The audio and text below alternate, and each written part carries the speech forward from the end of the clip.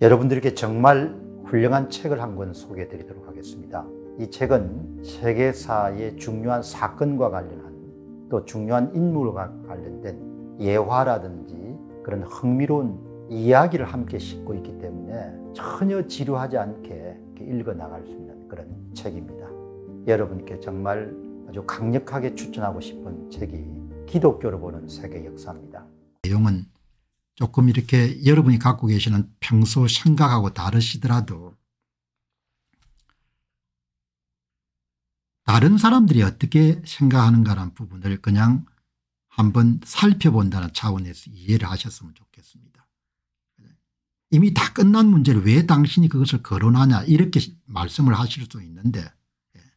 그런데 본인이 갖고 있는 그런 지식이나 정보의 우월성을 잠시 내려놓고 왜 이 사람들이 이렇게 반발하는가 이 사람들은 뭘 걱정하는가 그리고 이것이 앞으로 후유증은 없겠는가 그 부분을 다른 사람들이 어떤 생각을 갖고 있는지에 대해서 한번 살펴보는 그런 기회를 가졌으면 좋겠습니다. 이 내용이 예, 이게 이제 오늘 한국경제신문에 실린 기사거든요. 예, 이게 이 의대 시을 주수호 전 의사협회 회장께서 인터뷰한 내용을 간단하게 발췌해서 올렸습니다. 예. 이게 이제 뭘 이야기하는 거 아니에요. 제목 한번 보시기 바랍니다. 제가 의사 정원 학대 문제가 제기됐을 때 이거 의사들이 아무리 반발하더라도 정부가 하고 싶은 대로 다 밀어붙일 겁니다. 이 이야기를 여러분이 분명히 드렸을 겁니다. 그리고 대한민국에서는 관청이나 정치 권력을 이길 수 있는 사람이나 단체는 없습니다. 이런 이야기도 여러분들 말씀을 드렸습니다. 그리고 어느 정도 차원인가 하니까 대한민국에서는 경제 사회 정책에 대해서 독자적인 목소리를 낼 수 있는 그 정치 권력의 영향력을 벗어나서 독자적인 목소리를 낼 수 있는 그런 연구소가 단 한 곳도 없습니다. 이런 이야기도 이름 드렸을 겁니다. 모두가 정치 권력의 영향력 하에 있는 겁니다. 그래서 한국은 90년대에 비해서 훨씬 더, 더 정치 권력의 영향력이 압도하는 사회가 돼버린 겁니다. 이 이야기를 여러분 드렸습니다. 의사들 박살 날 겁니다. 그 이야기를 제가 이미 드린 겁니다. 이 보시게 되면은 이 이제 여기에 노환규 전 대한의사협회 회장 이 페이스북을 방문을 해보게 되면은 이 한번 우리가 이름들 볼만한 예, 이, 이 내용이 나오니까 그냥 의사 문제뿐만 아니고 한국 사회 전반에 대한 부분을 하나 이렇게 예표처럼 이야기하는 겁니다. 예. 이제 노한규 전 의사협회 회장이 의대생들하고 몇 명하고 대화를 나누는 모양입니다. 현재 의대생들의 휴학 참여 비율은 몇 프로냐 90% 넘는다는 겁니다. 100명 가운데 90명 정도 휴학을 한 겁니다. 그 이제 노환규 전 회장이 언론에서는 30%대라고 하던데 그것은 부모와 학가장의 도장 등 모든 요건을 갖춘 비율을 말하는 것이고 실제 참여율은 90%가 넘습니다. 이제 묻습니다. 학생들 분위기가 어떠냐 의대생이 처음엔 휩쓸려서 낸 휴, 이 휴학 지원서를 낸 사람도 없지 않아 있었는데 지금은 모두 자포자기 분위기입니다. 일단 빨리 복귀하고 싶어 하거나 복귀해야 된다고 생각하는 사람들은 거의 없는 것 같습니다. 1년 휴학은 모두 당연시하는 분위기입니다. 물론 이 노한규 씨의 주장에 대해서 어마어마하게 비난이 많습니다. 여기에 한국경제신문을 볼 정도가 되면 상당히 색채가 좀 보수적인 사람들이 많을 거거든요. 이 기사에 대해서 40명 정도가 댓글을 남겼다는 건 상당히 인기 있는 기사란 겁니다. 40명 가운데서 한두 명을 찾아보기 힘듭니다. 그 의대생들이 이야기에 공감하는 내용이 전부가 다 어마어마하게 이런 비난하는 글만 돼 있는 겁니다. 그게 한국 사람들이 지금 보이고 있는 보편적인 생각인 겁니다. 예. 그런데 좀 댓글을 남기더라도 조금 다듬어 가지고 상대방 입장을 이해하려는 노력은 일체 없는 겁니다.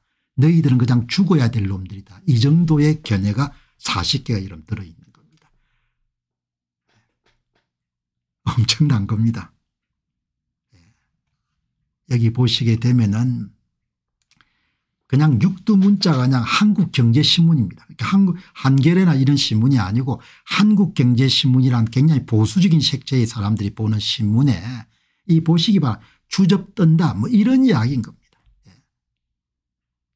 그냥 뭐 내가 내가 볼 때 이렇게 의사들 이 의대생이나 의사들이 어마어마 이름들 뭐죠 상처를 받았을 만한 뭐 우리가 지금 댓글 남길 때는 대충 한국 사람들 댓글 남길 때는 뭐 남이 이름들 읽고 상처를 받더니 별로 개의 안 하니까 뭐 거의 언어 폭력 수준의 뭐죠 질타가 대부분인 겁니다. 예. 이제 다시 묻습니다. 예. 휴학을 한 의대생에게 시간 어떻게 보내고 있냐 일주일간 유럽 여행을 다녀봤는데 아 세상 이렇게 사는 거구나 하는 생각이 들었습니다. 그동안 너무 열심히 살아왔다는 생각이 들었습니다. 예. 자포자기 분위기 하는 이유가 뭐냐 정부가 이렇게까지 악할지 의사들이 이렇게까지 무기력한지 몰랐습니다. 솔직히 이제는 잘못된 것을 고쳐야 된다는 생각도 많이 옅어졌습니다. 사회가 정의로운 방향으로 가고 있지 않다는 것에 대한 충격이 큽니다. 그리고 의사를 악마화하는 것을 보고 가슴에 멍이 많이 들었습니다. 특히 보수층이 의사를 공격하는 것에 충격을 많이 받았습니다. 의대생들은 사회 문제를 생각할 여유가 거의 없었을 겁니다. 고등학교 다닐 때는 공부를 아주 열심히 했었고 들어간 다음에 또 이제 예과 본과 다닐 때 공부를 열심히 하지 않으면 그냥 꽈락이 되니까 예. 여기 이러면 아주 중요한 내용이 나온 겁니다. 정치 권력이 하고 싶은 대로 다 할 수 있는 사회인 겁니다. 이 사회가. 70년 80년 산업을 갖고 오더라도 탈원전의 이름으로 다 무력화시킬 수 있는 사회인 이 사회가 어마어마한 사회인 겁니다. 제가 이 말씀을 드리면은 예, 의사를 옹호한 데에서 미워하시는 분도 계시겠지만 그런 차원으로 이해하지 마시고 한국 사회 전반에 대한 이야기를 하는 겁니다. 이번에 의사 정원 확대 문제를 해결하는 해결 방법을 보면서 한국 사회가 갖고 있는 여러분들 그냥 구조적인 문제를 다시 한 번 더 확인하게 된 겁니다. 아무도 대들 수가 없는 겁니다. 그냥 정치 권력을 진 자가 좌파든 우파든 간에 하고 싶은 대로 그냥 밀어붙이는 겁니다. 그게 찍소리 하면 뭡니까 세무조사 들어가고 매너박트라고 이렇게 할 수 있는 사회인 겁니다. 개인의 권리란 이런 게 전혀 아예 없는 겁니다. 좌익이든 우익이든 똑 마찬가지인 겁니다. 여기 보시게 되면 젊은 친구들이 예, 의사들이 이렇게까지 무기력한지 몰랐습니다. 똑 마찬가지입니다. 4년을 외쳐도 선거 부정을 다 깔아뭉개는 겁니다. 어떤 사람은 어마어마하게 무기력하게 느꼈을 겁니다. 여기 그 다음 이야기가 재밌습니다. 솔직히 이제는 잘못된 것을 고쳐야 되는 생각도 많이 옅어졌습니다. 사회가 정의로운 방향으로 가고 있지 않다는 대한 충격이 큽니다. 이 젊은 의대생들이 영어가 능숙하게 되면 떠날 결심을 할 수 있을 겁니다. 그러나 본인들이 영어가 능숙하지 않기 때문에 한반도에 태어난 사람들이 갖고 있는 여러분 가장 한계가 예, 본인이 location을 선택하는 건 폭이 아주 좁습니다. 왜 영어 교육이 부실하기 때문에 다른 데서 여러분들 한국처럼 살아갈 수가 쉽지가 않는 겁니다. 이렇게 이름 돌아가는 겁니다. 제 이야기 지금 말씀드리더라도 전혀 가슴에 안 나는 사람도 있을 겁니다. 그러나 이번 의사 문제를 처리하는 것을 보면서 사회가 이렇게 협상을 하고 협의를 하고 점진적이고 개량적으로 문제를 해결하고 이해단체를 설득하고 이런 부분들이 거의 없는 걸 보고 예, 그냥 저는 경악을 한 게 아니고 그냥 한 번 더 확인한 거지 놀란 건 없는 겁니다. 그냥. 예. 여기 이제 의대생들이 하는 이야기가 본인들 입장에서 하는 이야기지만 어마어마하게 함축적인 겁니다. 우리에게 주는 거가. 이 젊은 사람들은 영어가 능숙하면 떠날 수 있을 건데 영어가 능숙하지 않기 때문에 쉽지가 않은 겁니다. 그런데 예. 상황은 점점 더 악화되겠죠 앞으로. 예. 여기 의료계와 정부와의 합의 전망에 대한 생각은 저는 불가능하다고 생각합니다.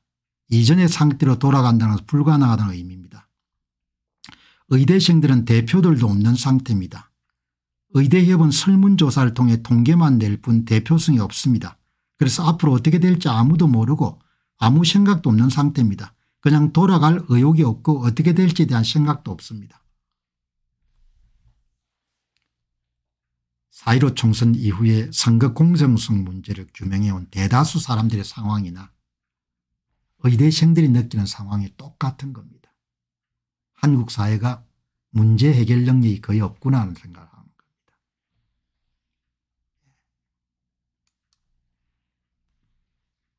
의사협회 전 회장이 묻습니다.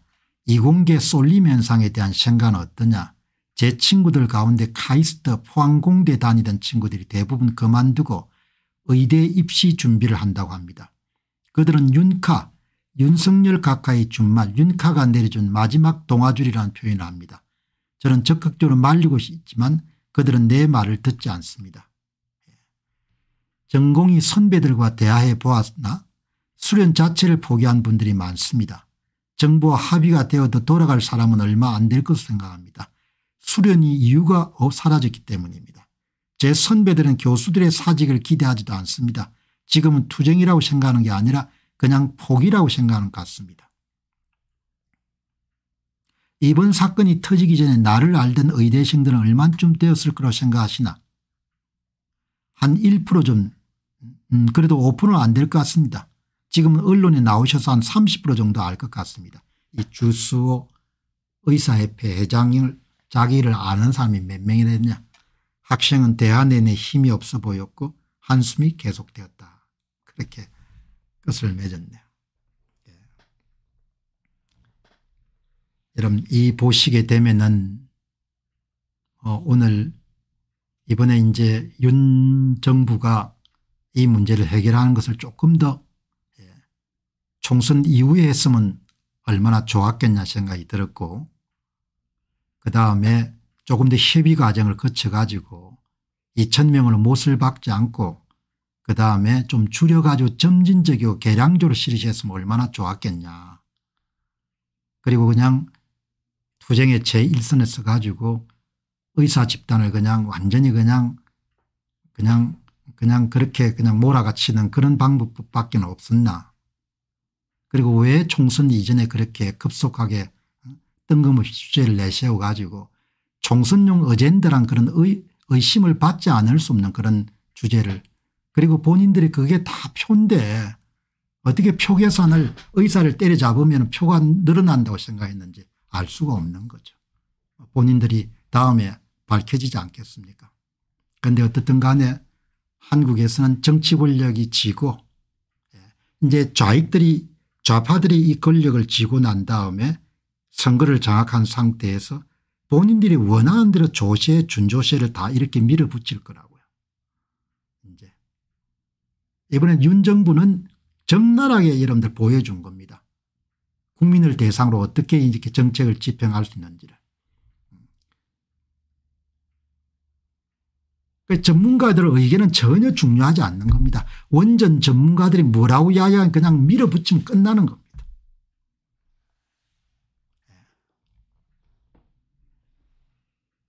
산업 기반이라는 것은 쌓기가 아주 어렵습니다. 원전이라는 것이 여러분이 아시다시피 이승만 대통령 때부터 씨앗을 뿌린 그런 노력이지 않습니까 그걸 한순간에 특정 정권이 완전히 와해시키는 걸 우리가 봤지 않습니까 예. 이번 사태도 저는 그렇게 보거든요. 얼마든지 명분이 있더라도 좀 천천히 좀 점진적으로 추진할 수 있는 사안인데 저렇게 하구나 그런 생각이 든 거죠. 물론 이런 주장을 이 젊은이들이 영어가 능숙하게 되면 영미권으로 떠나겠죠. 아마 이번에 그런 생각하시는 분들 많을 겁니다. 내가 여기 오래 있어서 안 되겠구나 생각을 의사 라이센스를 받으면 수련이는 딴 데 가서 해야겠구나 이렇게 생각하는 사람들 많을 거예요. 그런데 이런 상황이 훨씬 더 앞으로 악화될 겁니다. 그리고 이번에 여러분들 이 이해 집단을 다루는 데서 보편적인 한국 국민들이 보이는 그런 태도를 보면서 경악한 사람들이 굉장히 많을 겁니다. 그렇게 반응해서는 안 되거든요. 예. 상대방 입장도 경청을 해보려고 해야 되는데 그냥 본인이 갖고 있는 작은 지식을 그냥 최고라고 생각하고 죽일 놈으로 미는 겁니다. 예. 그거를 우리가 본 겁니다. 자 여러분 지난 주제지만 이게 끝나지 않은 주제이기 때문에 오늘 토요일 날 아침에 또 특별히 시간을 좀 더 할애해 가지고 이게 그냥 한국 사회를 이해하는 큰 좋은 현상이기 때문에 여러분 사람을 설득하는 일이 참 어렵습니다. 사람은 선입견하고 편견을 갖고 있기 때문에 고정관념을 갖고 있기 때문에 이번에 의료 의사 정원 학대 문제도 그냥 내가 생각해 보니까 그냥 의사 수가 적으니까 늘려야겠다 이렇게 일단 마음을 정하고 나면 어떤 이야기를 하더라도 설득이 안 되는 겁니다. 지금 586 운동권들은 그냥 뿌리 깊은 친중 반미 색채를 가진 사람입니다. 젊은 날부터 직업적인 입장 때문에 그 그것을 살짝 가렸을지 모르겠지만 인류사를 관통하고 있는 보편적 가치가 서구 문명을 중심으로 확장되어 왔다는 그런 데 대해서 깊은 신념이 없고 그것으로 인해서 우리가 여기까지 이렇게 자유로운 나라가 됐다는 부분에 대해서 감사함이라든지 고마움이 별로 없는 겁니다. 그래서 선거를 장악한 사람들이 대한민국 권력을 이렇게 오랫동안 유지하게 되면 한국은 필연적으로 미국과 갈랐을 것이고 친중 국가로 갈 수밖에 없는 겁니다. 그게 너무나 확연하게 보이고 그렇게 가는 순간 산업계도 대부분 미국이라든지 서방 선진국들하고 여러분들 거리를 두고 그다음에 퇴행을 하겠죠. 예. 낙후가 될 겁니다. 사람이 갖고 있는 고정관념은 아니 양안관계가 뭐가 중요하냐? 그냥 중국에도 쉐쉐 대만에도 쉐쉐하면 되는 거지. 우리만 잘 먹고 잘 살면 되는 거지. 왜 우리가 중국 문제에 뭡니까? 찝쩍거리냐? 이런 이재명 당대표 이야기는 특별한 것은 아니고 그냥 586 운동권들이 공유하고 있는 생각인 겁니다. 그 생각을 바꿀 수가 없는 겁니다. 왜 공부를 안 하니까? 본인들 스스로가 성찰하거나 이런 것이 없기 때문에 20대 가졌던 생각이나 40대 가졌던 생각이나 60대 가졌던 생각이나 똑같은 겁니다. 새로운 정보가 투입이 안 되기 때문에. 의사 정원 학대 문제도 그냥 대중을 설득하는 것은 불가능한 겁니다. 왜? 그 사람들이 옳다고 생각하기 때문에. 그래서 지금부터 여러분들이 보시는 것은 예, 이 주수 노환규 노환규 대한정맥통증학회 회장이시고 대한의사협회 회장으로 근무했던 노환규 회장의 페이스북에 올라온 내용을 그냥 편안하게 들으시기 바랍니다. 이게 예, 사람을 설득할 수 없는 겁니다. 그렇지만 이 분야에 오랫동안 활동한 전문가는 무슨 생각을 하고 있는지 한번 보시기 바랍니다. 예, 이 사람들 예. 여러분들 20세기의 큰 교훈이 뭡니까? 20세기 큰 교훈이 관료나 정치가들이 본인들이 갖고 있는 알량한 지식 과학적 지식 사이언티픽 난리지를 맹신해 가지고 예, 업계에서 돌아가고 있는 전문가들이 있는 지식을 완전히 뭉개 가지고 계획경제를 실시해 가지고 수천만 명의 여러분들 생명을 앗아간 것이 그게 공산주의 혁명의 교훈이지 않습니까 정치 권력을 진 자들이 갖고 있는 지식이 전문가들의 지식에 테신 날리지 암묵적 지식을 완전히 압도한 그 역사가 20년 100년 여러분들 역사인 겁니다. 여기 보시기 바랍니다. 이 보시게 되면은 노인 인구는 갈수록 증가하고 의사는 턱없이 부족하여 난리가 났는데라는 댓글이 올랐습니다.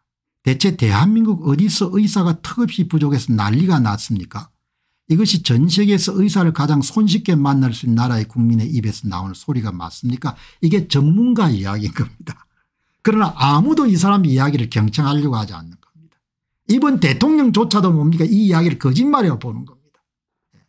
이 글이 더 끔찍한 것은 그 노인 인구의 의료비를 누가 감당할 것인가에 대해서는 전혀 생각지 않는다는 것입니다.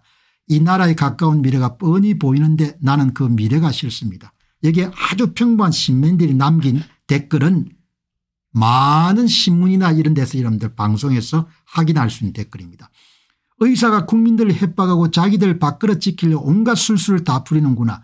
윤 대통령 포가 떨어져도 반드시 의료개혁은 하고 그만두라. 노인 인구는 갈수록 증가하고 의사는 턱없이 부족하게 난리 났는데 배돼지 지렁기가 가득 낀 자들이 더 먹으려고 아우성이구나. 얼굴에 침을 뱉어주고 싶다. 이게 보통 보통 사람들이 갖고 있는 견해를 여과 없이 필요한 겁니다. 여기에 대해서 예, 의료계에 종사하고 있는 사람이 지적하지 않습니까 노인 인구의 의료비를 누가 감당하려고 하냐 이야기죠. 예. 여러분들 이렇게 이야기하지 않습니까 예. 비용 문제는 아무도 생각하지 않는 겁니다. 비용 문제는 다음 문제니까 2차 효과 문제니까 예. 오늘 이 방송 보시면서 다른 의견을 가지신 분들도 계실 겁니다. 그러니까 굉장히 소수 의견이라고 제가 거듭 이야기하는 겁니다. 설득은 어렵고 불가능한 겁니다. 그러나 업계에 있는 사람이 어떻게 생각하는지를 한번 들어보시기 바랍니다. 자, 이 보시죠. 정부가 의사수를 열리겠다고 하면 대다수 대중들은 찬성할 것입니다. 그런데 만일 정부가 질 낮은 의사를 양산하겠다고 하면 대다수 대중들은 반대할 것입니다. 누군가 이렇게 빗대어 표현했습니다. 자신을 끓여 죽이는 무슨 솥에 불을 더 떼달라고 독자는 같습니다. 예, 뭐 어떻든 대한민국 의사들 문제를 이야기를 한 거죠.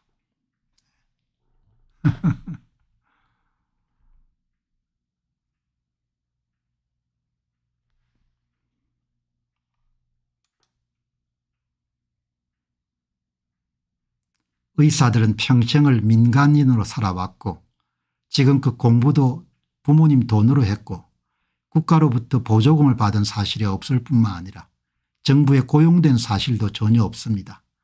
강압이 아닌 자유의지로 사직서를 제출한 이후에 어느 날 정부의 명령과 협박을 받는 상황이 의없는 것입니다. 더욱이 돌아갈 다리를 모두 불태워 끊어버린 후에 너희들은 빈손으로 돌아와 노예 인정을 하라는 협박은 대한민국 정부의 이름을 하고 있기에 더욱 낯설고 분노하는 것입니다. 출산휴가에 들어간 전공의들과 레지던트에 떨어진 인턴들에게도 업무 개시 명령서가 날아왔답니다. 예, 이렇게 이야기 나온 거죠. 예. 지방에 수련병원이 없는데 전공의 배정 비율을 어떻게 올린다고 지금 40%인 전공의 비율을 80%로 끌어올리고 전공의 위주의 병원으로 운영을 말하는 것인가 아무 말이나 막 해대는구나. 이 나라에서 뭐나 뭐만 알리는데 우파라는 사람들도 두뇌가 마찬가지다 이렇게 이야기하죠. 의사 매너가 나오면 은 나라를 떠나야겠습니다. 이런 취급을 안 받겠네요. 의대에 입학해서 영어 못하면 은 뭐가 되는 현실입니다. 뭐가 되기 싫으면 은 영어 열심히 해야 됩니다. 이렇게 이야기하는 사람들도 있고 예.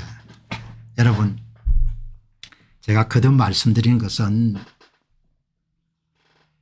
제가 의료인이 아니기 때문에 의사 수가 적정 인원수가 2천 명이 많다 이런 거는 뭐 정확하게 예단을 할 수가 없습니다. 그러나 상식적으로 보면 은 의사 의대 정원이 3,500명 같으면 은 매년 2천명을 늘린다는 65%를 먼저 늘리는 겁니다. 그래서 상식적으로 볼 때 과하다는 거죠. 예. 그리고 내가 의료인이 아니지만 예. 의사 수가 늘어나게 되면은 반드시 의료비 폭증이 이런 수반될 수밖에 없을 것 같다고 보는 거죠. 예. 그래서 점진적인 방법으로 이 문제를 해결해 갔으면 좋겠다는 생각을 가졌고 그다음에 이 문제를 대할 때 윤 정부가 왜 총선 이전에 이 중대한 사안을 끄집어내 가지고 이렇게 뭐죠? 누가 보더라도 군사작전 이상으로 여러분들 그렇게 강행하는 모습이 너무나 신경하고 그리고 여러분들 의사들을 그냥 범죄 집단으로 전체를 몰아가는데 많은 국민들이 동조하는 것도 너무나 생경하고 이렇게 중대한 사안을 총선 이후에 시간을 두고 그렇게 협의를 해서 이러면 얼마든지 해결을 낼수 있는 사안을 그래서 아, 이 양반들이 총선 호재로 이 소재를 활용하려고 이 문제를 꺼내지 않았냐 그렇게 의심을 안 할 수가 없는 겁니다. 그 덕택에 표를 얻을 수 있는지는 모르겠어요. 그러나 정녕 굉장히 회의적입니다. 가장 보수 진영의 이런 우호적인 집단 가운데 하나가 의사 집단일 겁니다. 그 표는 대부분 다 잃어버린 겁니다. 그런 정신 나간 짓을 왜 총선 전에 하는 겁니까 정신이 있습니까 그게 정신이 없는 짓이죠. 물론 본인들은 표 계산을 해보니까 댓글에 올라오는 의견이 우리 편이다 이렇게 생각해서 표를 얻었다고 생각할 수 있을지 모르겠지만 너무나 악한 짓인 거죠. 그리고 그것이 다 홀가닥 넘어가는 사람들도 너무나 놀라운 겁니다. 아 이렇게 해서 선동을 선동을 잘 할 수 있는 나라가 됐구나 이렇게 생각하는 겁니다. 비용 부담은 큰 문제로 돌아오겠죠. 예, 돌아오고 이 여러분들 의료 제도나 이런 게 시스템이지 않습니까 원전이라는 것이 다 시스템이지 않습니까 그 시스템이 여러분들 전공이나 수련 위에 저렴한 인건비를 가지고 대학병원이 유지되어 온 것이 그게 다 여러분들 뭐죠 굉장히 오랜 기간 내에 축적되어 왔기 때문에 그 제도를 다룰 때는 굉장히 섬세하게 조심스럽게 점진적으로 다루야 그게 안 망가지죠. 70년 80년 축적해 온 그런 탈원전 산업을 어느 날 영화 한 편 보고 그러니까 탈원전이다 이렇게 해가지고 그냥 산업 전체가 그냥 엉망진창으로 만들 뻔했지 않습니까? 참 내가 보면은 너무 여러분들 내가 볼 때는 어떻게 저렇게 하냐. 마치 여러분 특수동 검사가 여러분들 그냥 뭐죠 그냥 피의자 다룬 식으로 그냥 다룬 겁니다. 여러분 제가 선거를 앞두고 무슨 억하 심정에서 이런 이야기를 하는 것이 아니고 이게 끝나지 않은 전쟁이라는 겁니다. 이게 이게 여러분들 예감이 좀 이상한 겁니다. 이 사건이 이 보시게 되면은 이런 게 어마어마하게 그 사람들한테는 충격을 줬을 겁니다. 이 노한규 전 의사의 회장께서 정부의 의사의 악마 작업이 위험한 이유 수술을 왜 혼자 못합니까? 낭만 닥터 김사부도 안 보셨습니까? 뭐 이런 이야기를 퍼붓는 겁니다. 의사들을 개처럼 목줄을 채워서 감옥에 가둔 다음에 진로시키지 되면 안 될까요? 이런 종류의 극단적인 표현이 조선중앙동아를 가득 채우다가 시간이 가면서 점점 그 비율이 줄어든 건 사실인데 이걸 보고 한국 사람들이 갖고 있는 심성어에 어마어마한 경악을 한 겁니다. 도무지 생각할 수 있는 힘이 없는 겁니다.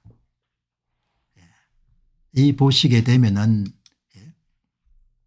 이게 이게 이제 꼭 정부가 악마를 했다기보다도 사람들 심성 자체가 이렇게 거칠어진 겁니다.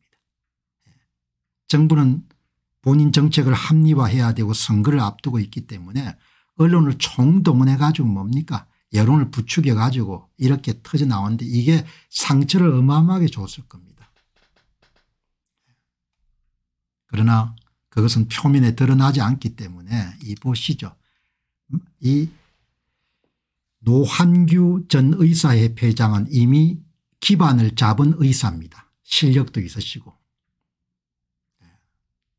그렇기 때문에 현재 의 사 문제에 대해서 본인하고 별 관계없는 문제입니다. 본인이 이미 기반을 잡은 사, 사람이기 때문에 다음에 의료제도가 많이 망가져 가지고 문제가 발생하더라도 크게 타격을 의과대학 교수님들도 마찬가지고 이 이야기를 누구도 믿지 않으려고 할 겁니다. 사람을 설득하는 어렵기 때문에 한번 보시죠.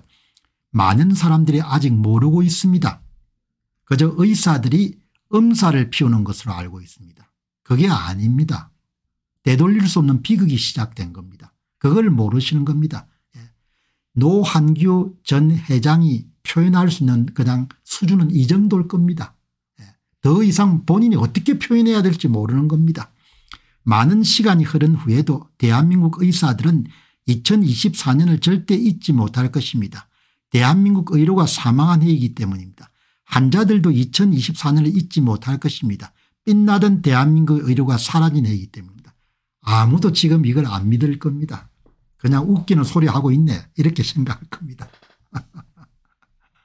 그래서 우리가 보면은 완장 차고 나면 사람이 달라지지 않습니까 예. 윤 대통령은 평생 완장을 차고 산 거죠. 항상 값을, 값 인생을 산 겁니다. 피위자든 을 중에 을이었거든요. 그래서 그냥 다루는 겁니다. 본인 원하는 대로. 우리 같은 사람은 완장을 차본 적도 없고 갑 인생을 제대로 살아본 적도 별로 없는 겁니다. 그래서 조신하고 주의하고 겸손하고 경청하는 것이 몸에 배어 있는 겁니다. 왜 경청하고 겸손하고 주의해야 예, 판단을 그르치지 않고 자기 몸을 지킬 수가 있고 자기 가족을 지킬 수 있고 자기 사업체를 지킬 수 있다는 걸 본인들이 알기 때문인 겁니다. 예. 대체로 생활인으로 살아가는 사람들은 오만하거나 자만심을 가지면 그냥 꺾인다는 걸 본인이 잘 아는 겁니다. 그러나 갑인생을 아주 익숙하게 살아온 사람들은 그게 자연스러운 겁니다. 노한규 여러분들 의사협회 전 회장이 하는 이야기를 지금 이 방송 보시는 분들 가운데 몇 분이나 이것을 그냥 저렇게도 저렇게 저 사람들이 이야기하구나 이렇게까지 생각하시는 분들은 많지 않을 겁니다. 예. 생각해 보고 싶지도 않을 겁니다. 그러나 저는 굉장히 경청하는 겁니다. 이 양반들 이 정도 이야기할 정도 같으면 이게 의료 시스템의 일대 파란을 일으키는 그런 대형 사건이구나.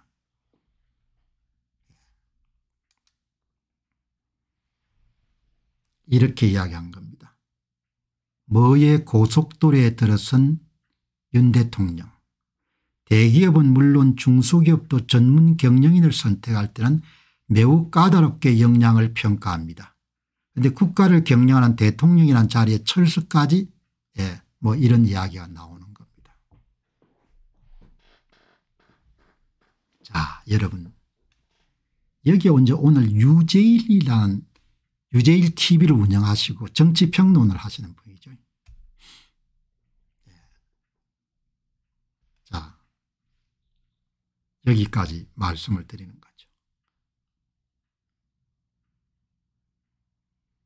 전문가들 이야기를 좀 경청하는 것은 대단히 중요하죠. 자, 그럼 여러분들 이게 문제인 겁니다. 예감이 제가 별로 안 좋습니다.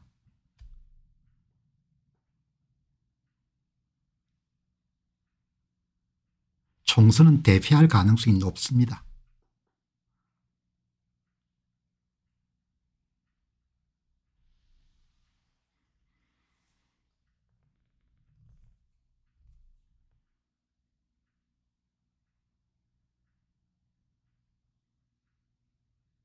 이런 이야기를 하는 사람을 만나기가 참 어렵습니다. 용산 사람들은 전혀 걱정 안 할 겁니다. 그리고 권력을 진 사람들이 참 강하게 보이는 것처럼 보일지 모르지만 본인들이 고립되어 있다는 생각이 들 때가 참 많, 많을 겁니다. 예. 언젠가 미국의南부를 여행하는데 거기가 아마 애리조나였던 것 같아요. 그 애리조나 같으면 여러분들 텍사스 인근이니까 옛날에는 멕시코 땅이었지 않습니까 그 멕시코의 스페인 여러분들 군인들이 진지를 개척해 가지고 그걸 지키던 참호를 한번 방문해 본 적이 있는데 오래전의 이야기죠. 그 주위가 치독 같은 어둠이 깔리고 자주 인디안들이 여러분들 자기 땅을 침해했으니까 공격을 했을 거라고요. 그 거기에 참호에서 참호를 지키는 그런 스페인 병사들이 얼마나 힘들었을까 그런 생각이 들었거든요. 권력을 가진 사람들도 이번 사건을 치르면서 우리에게는 마치 막강한 그런 권력을 갖고 있는 것처럼 보이지만 본인들이 공격당하고 있다는 생각이 굉장히 많을 겁니다. 예. 그래서 더 강공책을 쓸 가능성이 높은 거죠. 예. 여기 보시기 바랍니다. 이 유재일 씨가 유재일 TV를 운영하는 유재일 씨가 한 이야기를 여러분 그냥 한번 참조해 보시기 바랍니다. 이 사람이 어떻게 보느냐 이야기죠. 지금 상황을. 예. 대단히 소수 의견입니다. 이 유재일 씨가 한 이야기가 아주 소수 의견입니다. 예. 이 타임라인의 이름 역순으로 한번 제가 올라가 봤는데 정부와 세상이라고 하지만 정말 중요한 내용은 찾아가 묻고 듣고 또 물어야 됩니다. 판단을 내리기 전에 의심하고 따져도 보고 설득도 당해야 됩니다. 설득을 당하고 생각을 바꾸고 시선을 교정하고 전문가들의 끝도 없는 깊이에 탐복하며 정치의 역할을 찾아야 됩니다. 세상이 순기능으로 돌아가기 하기 위해 그렇게 정치에 종사하는 사람은 듣고 의심하고 고뇌하고 판단해야 됩니다. 판단의 무게 나의 판단에 최종적인 결정권이 없다 하더라도 결정권자에게 조언이라도 된다면 신중하고 또 신중해야 됩니다. 한국 정치에 그런 조심성과 성실성이 없습니다. 이번 의료 대란으로 제가 얻은 것은 성숙이고 잃어버린 것은 잃어야 했던 것들입니다. 원통하고 비통하나 그건 개인적인 감정이고 지금 이 나라에서 무너져버린 시스템을 재건할 수 있는 것은 공적 마인드로 무장한 오피니언 리더들입니다. 이번 일로 진짜들이 걸려졌습니다. 예, 이런 이야기가 나오거든요. 여러분 여기서 뭘 이야기하는 겁니까 대통령과 대통령 주변에 있는 관료들이 갖고 있는 지식은 scientific knowledge 과학적 지식인 겁니다. 의사나 의료 현장에 있는 사람들이 갖고 있는 것은 암묵적 지식 테신 날리지인 겁니다. scientific knowledge를 과신하지 말고 맹종하지 말고 tacit 예, knowledge 예, 현장에 있는 사람들 이야기를 더 듣고 검증하고 체크하고 했어야 됐다는. 이런 의견을 한국에서 지금 만나기는 가뭄의 콩나기보다 여러분 어려운 겁니다. 이런 오피니언을 만나기가. 유재일 TV의 여러분들 유재일 평론가가 하시는 이 이야기가 제가 표현한 것은 사이언티픽 날리지를 맹종하게 되면 그냥 골로 간다는 겁니다. 그게 20세기가 주는 가장 이런 중요한 세계사적 교훈인 겁니다. 완장을 차고 권력에 취해 가지고 주변 여러분들 뭐죠 예, 관료들이 제공하는 통계표를 가지고 떠들게 되게 되면 백전백패한다는 겁니다. 그게 좌익들이 범한 소련의 범한 여러분들 대약진 운동이 범한 문화대혁명이 범한 것이 다 뭡니까 예? 김일성이 범한 것이 다 그 실수였던 겁니다. 그게 마이크로 버전으로 보면 됩니다. 이번 의료 대란을. 왜 여러분들 이 이야기를 유재일 TV를 운영한 유재일 평론가가 아무런 사심이 없을 겁니다. 그러나 저는 이 정도 이런 시각을 가지고 세상을 보는 사람들도 세상이 있구나 이렇게 생각이 드는 겁니다. 이 보시기 바랍니다. 이거. 거침없이 이렇게 이야기한 겁니다. 너희들 정신이 있냐 이 이야기인 겁니다. 관료들 이야기만 듣고 이렇게 밀어붙이면 되냐 이렇게 이야기를 하는 겁니다. 여러분 또 타임라인 끝순으로 해가지고 여러분들 다시 여러분들 위로 올라가니까 이런 이야기가 있는 겁니다. 유재일 평론가 이야기입니다. 문제 해결이 정치의 본령입니다. 그걸 거하게 말아 드셨으니 지지율이 이 모양인 겁니다. 이종섭 항상무 때문에 지지율이 빠졌다고요? 어이쿠 의대 정원 문제가 메인이고 이종석 항상무는 곁다리입니다. 사태 파악이 그 모양이니 처방도 그 모양입니다. 마음대로 하시기 바랍니다. 의대 정원 오르는 지지율은 스팀팩이라 시간 지나면 픽 깎여 있다니까요. 이렇게 이야기한 겁니다. 보수적인 사람들 가운데 의사 자식을 둔 사람들도 다 돌았었는데 모르는 것 같습니다. 의사가 아무리 이기적인 집단이라 해도 적어도 대화하며 설득하는 쇼라도 하면서 타협했어야 되는데 자기가 다루던 범죄자 취급부터 해버리고 압박을 해대니 하여간 무대뽀입니다. 이게 유재일 평론가의 역순으로 추적하게 올라간 겁니다. 예, 이번에 문제 해결한 걸 보고 저도 그냥 검사구나 이렇게 생각한 겁니다. 소파 소굿 예, 소파 검사 이렇게 된 겁니다.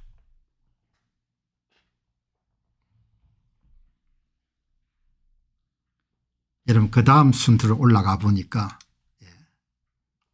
보시게 되면은 예, 유재일 평론가 하는 이야기인 겁니다.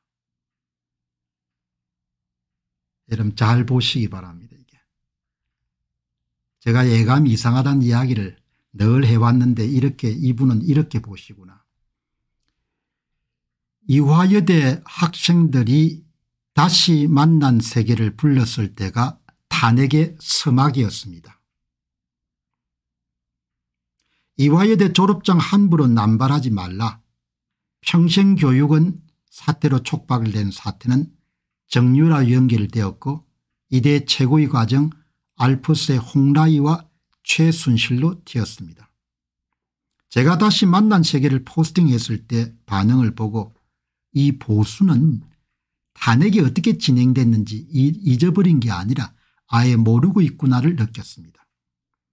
이대 학생들의 분노는 학부모들로 이어졌고 그 학생 학부모들이 정보를 켜고 sns에 자료를 공유하며 보수층 내부에서부터 탄핵의 불길이 타올랐습니다. 2030의 공정담론은 이화여대가 시작이었습니다.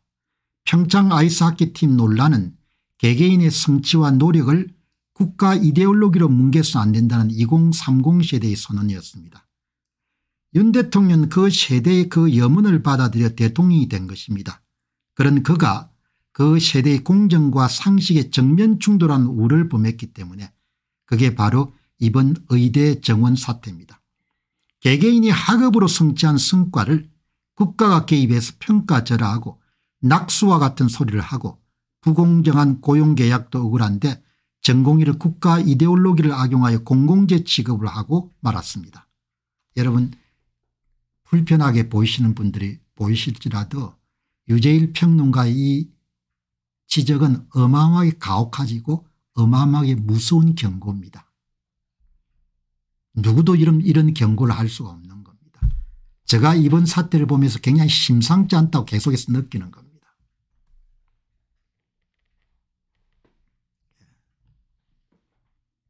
이번 선거는 무지하게 끝날 겁니다. 보시기 바랍니다. 그 이후에 여러분들이 이 문제를 한번 이렇게 경고를 하는 겁니다. 완전히 다른 접촉이 없는 사람이 이름 보는 세상 보는 것을 보고 제가 여러분에 소개하는 겁니다. 공정하지 않고 받아들일 수 없는 조건을 강요한 결과 대한민국 보수의 중핵인 의사 집단과 그 가족들을 적으로 돌려 세웠습니다. 그리고 이제 이 정권의 취약점들이 정보가 되어 돌고 있습니다. 대한민국 보수 코어층 중심으로 다시 말해 탄핵의 고속도로에 이미 윤 정부는 진입했습니다. 물론 이걸 이야기해 주는 사람은 없습니다. 성질이 좀 그렇습니다. 용산의 최고 문제가 뭔지 아십니까 네가 가진 정부와 대통령이 가진 정부는 비교도 안 된다. 섣불리 판단하지 말라. 뭐 시답찮은 인간들 말은 그렇게 들으면서 정치 무당 소리 듣는 내 얘기는 개코로 듣는가 이겁니다. 인내심이 바닥이 나고 있습니다. 상황 판단이 전혀 안 되는 것을 넘어 누가 충원을 하는지 누가 간신질을 하는지도 구분이 안 가는 겁니다. 2030 세대에 촉발된 공정과 상식 담론으로 집권을 하고 그 세대인 전공의를 구시대의 국가의 되기를 바불로한 대통령은 끝났습니다. 이 정권에게 남은 것은 의학적으로 비유하자면 영명치료뿐입니다. 좀 강한 이야기입니다만은 예, 돌아가는 모양새가 그 사람들은 성공했다고 이런 만세를 부르는데 저는 영 찜찜한 겁니다. 그런데 그거를 예, 그냥 저처럼 그렇게 좀 부드럽게 여러분들 이야기를 안 하고 그냥 그냥 그대로 까발긴 사람이 유재일 평론가입니다. 여러분 이 보시기 바랍니다. 이거 이 유재일 평론가는 전번에 유동규 씨를 모셔가지고 해서 굉장히 많은 분들이 봤죠. 예. 정치평론가니까 네트워크가 좋을 겁니다. 예. 그래서 여러 가지 의견을 졸업해 가지고 본인이 이렇게 이야기를 아주 확실하게 경고를 하네요.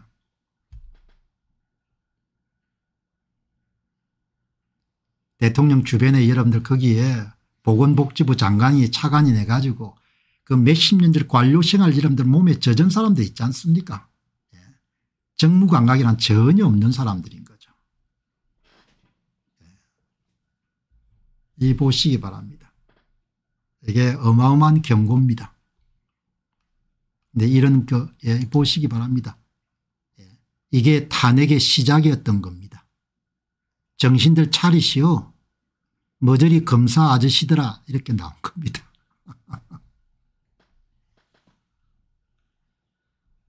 예. 이게 참 불행한 거죠. 그래서 뭐 어떻든 정도를 안 걸었으니까 그동안.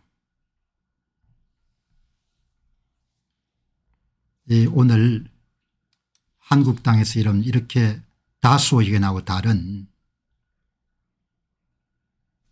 이런 이야기를 피력하기가 굉장히 어려운데 여러분이 한번 참조하시고 제가 소개를 할 정도가 되면은 무슨 이야기인가 하니까 제가 갖고 있는 불길한 감정을 담았기 때문에 소개하는 겁니다. 엉뚱한 이야기면 소개를 안 하겠죠.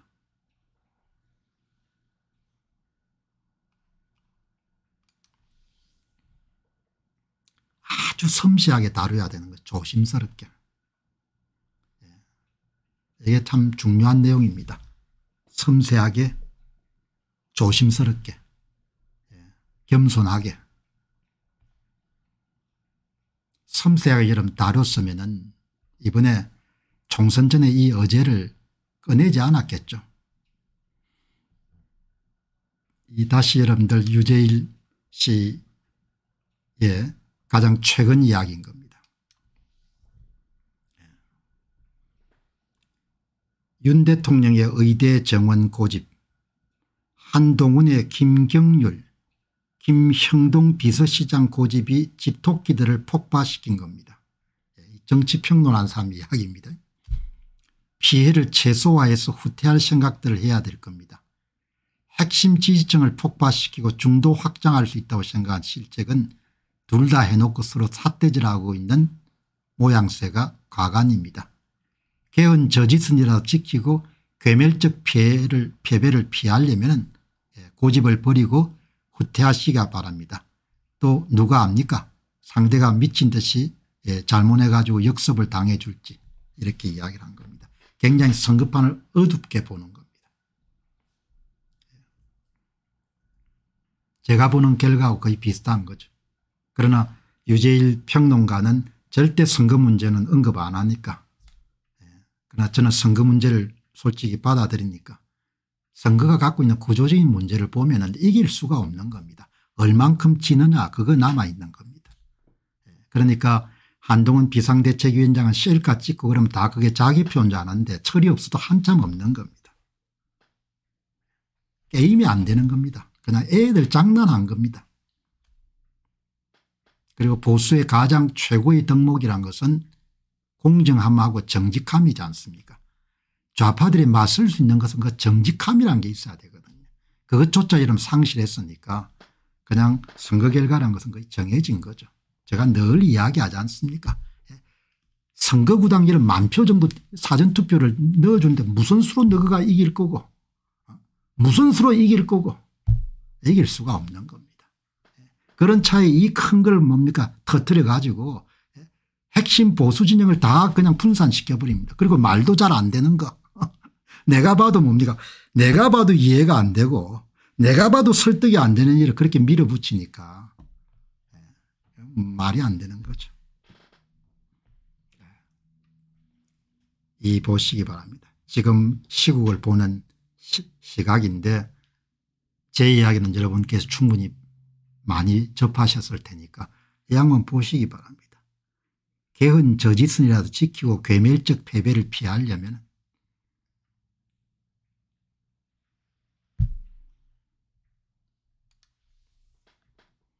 음, 이거는 이제 뭐 인성을 중시하겠다 의대생을 뽑는데 그 이야기를 듣고 진짜 정신 나간 사람이구나 이렇게 생각했는데 예. 제주대 총장이 수능 성적보다도 수능 성적을 안 보겠답니다. 의대생 뽑는데 예. 인성을 보겠단다. 의사는 인성이 먼저란다. 아플 때 인성 좋게 손 꼭 좁아주고 징징거리는 거 장시간 들어주는 게 의사의 미덕이 되는 나라가 되나 보다. 제주 지역 인재가 지역 인재일지 지역 유지 자손 전형이 될지 지켜보자. 당연히 대한민국 지역 자손 유, 전형이 되겠죠. 예. 그렇게 해서 남미처럼 비슷하게 바뀌는 겁니다. 시험을 안 보고 전형을 하겠다는 건 뭡니까 아름아름을 뽑아주겠다는 이야기잖아요.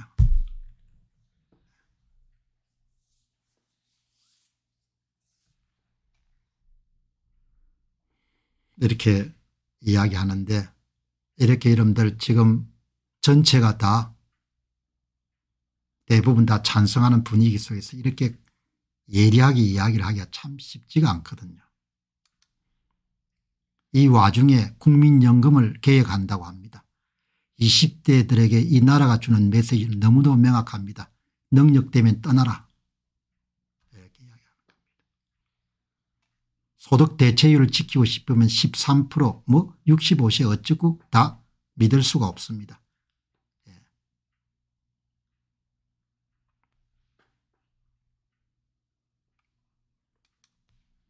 다 끝났는데 유재일 평론가는 원위치 시켜야 되고 김경률 치야 되고 아니면 전멸이다. 어마어마하게 어둡게 보는 겁니다.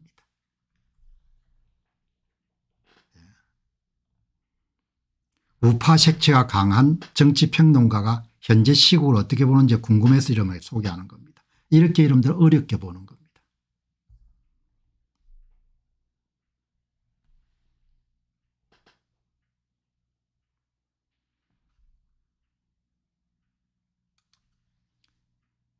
이공계 문제와 의대 문제는 인센티브를 줘야 될 분야를 국가주의적 강제 핵심 기술 핵심 의로 하는 사람들을 후려치려고 드는데 그걸 말리는 정치인도 없고 행령도 없습니다. 진짜 프로페셔널에 대한 존중이 뭐 같습니다. 대장동을 보면 검사 기자 정치인 변호사 회계사 문도들이 문 문과들끼리 뭉쳐 수천억을 갈라먹은데 대한민국 이과들이 총걸기 할 필요가 있어 보입니다. 그냥 천장 보고 누워서 뻘 생각 중입니다. 너무 뭐 같습니다. 한국 정치 이렇게 이야기합니다. 예, 뭐참 오늘 조금 이렇게 칙칙한 이야기들이 많았는데 예, 오늘 이야기 뭐 다 액면 그대로 다 받아들이지 마시고 약간 이렇게 예, 순화해 가지고 보시기 바랍니다. 아무튼 참 총선전을 펼치는 걸 보면은 좌파들은 참 선거 하나는 참 잘하는 것 같아요. 집권 이후에도 뭐죠. 야무지게 정책들을 그냥 제거하는 것은 참 잘하는 것 같고. 예. 자 여러분 오늘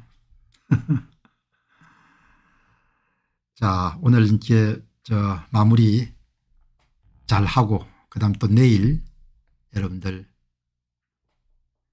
준비해서 5시에 여러분 다시 또 찾아뵙도록 그렇게 하겠습니다. 안녕하십니까 공병호입니다. 그동안 공병호TV는 선거 공정성 회복과 자유민주주의 체제의 보존과 발전을 위해 노력해왔습니다. 이런 노력들이 지속될 수 있도록 공병호TV의 전기 후원 프로그램이자 멤버십 프로그램을 소개해드립니다. 뜻 있는 분들의 관심과 동참을 부탁드립니다. 선거 공정성 회복을 위한 노력을 지지하시고 훌륭한 나라 만들기에 동참하시는 시청자분들이시라면 구독 버튼 바로 옆에 있는 가입 버튼을 통해서 정기 후원 프로그램에 가입할 수 있습니다. 가입 버튼을 누르시면 공병호TV의 후원자가 되시게 됩니다. 여러분의 후원이 선거 공정성 회복을 위한 노력에 힘을 더할 수 있을 뿐만 아니라 자유민주주의 체제의 수호를 그리고 발전을 통해 여러분과 후손들의 삶에 빛과 소금이 될 것입니다. 특히 그동안 공병호TV는 선거 공정성 회복을 위한 노력 과정에서 채널 성장에 제약이 가해지는 불이익을 감수해왔고 지금도 그런 불이익이 계속되고 있습니다. 그럼에도 불구하고 너무나 중대한 문제이기 때문에 공병호TV의 노력은 계속될 것입니다. 여러분의 깊은 관심을 부탁드립니다. 감사합니다.